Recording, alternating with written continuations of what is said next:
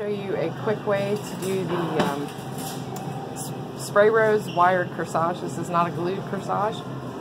So basically you're going to put use your ultrafine wire and you're going to go through the bottom of the, the rose so you end up with like that and you're going to put your pieces of baby's breath on now I tend to put everything on, my greens, my baby's breath, everything all at one time, but you can tape in between them, but the more often you tape, um, the thicker it's going to be. Um, also, you can use the paper towels that I have here. I cut them in little squares, and you, you put your baby's breath on, and then you wrap this little paper towel around there.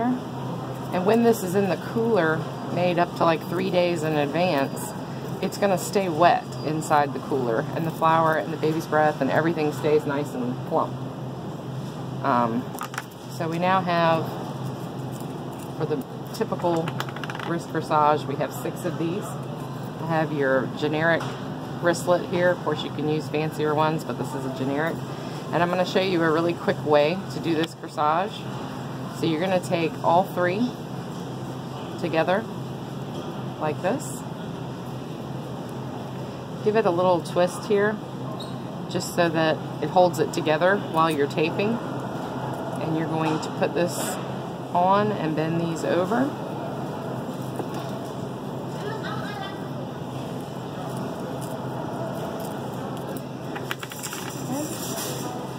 Then you've got your your bow that's already done.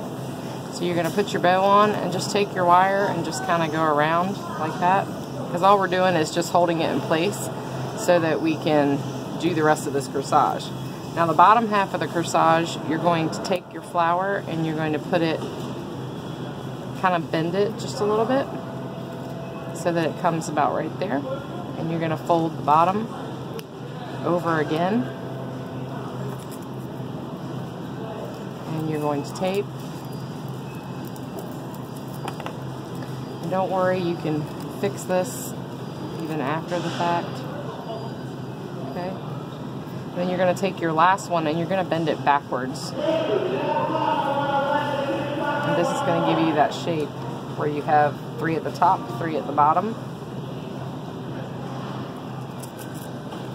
And you're going to tape it. Sometimes uh, I like to go back and take just a tiny little piece of ribbon and put it up underneath like this. And it kind of gives it the impression that the whole corsage is made within the bow. And you're going to take that off, you're going to cut it, make sure there's no exposed wires, and you're going to push that up and now you have what I call a more elegant looking corsage.